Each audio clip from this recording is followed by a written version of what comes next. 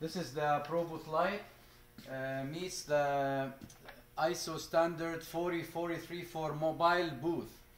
Uh, so we have three front, three front panels and two side panels.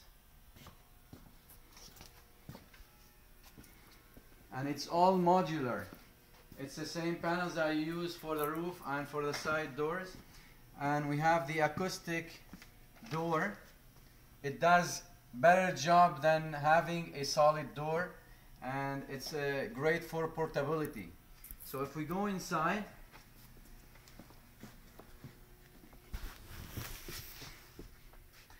we securing the